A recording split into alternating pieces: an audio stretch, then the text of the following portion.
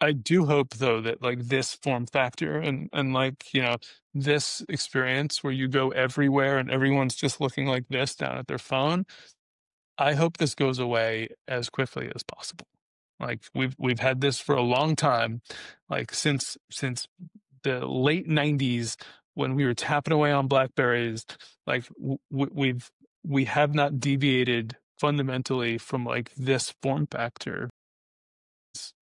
I don't know. Maybe maybe they've used Jony's brain and ChatGPT to like come up with something entirely new, and I I can't wait to see what it is.